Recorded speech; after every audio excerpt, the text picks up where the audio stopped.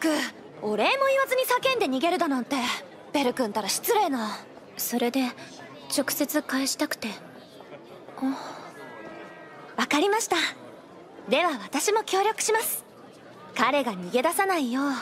いいえ逃げ出せないよう作戦を立てましょう。そうですね。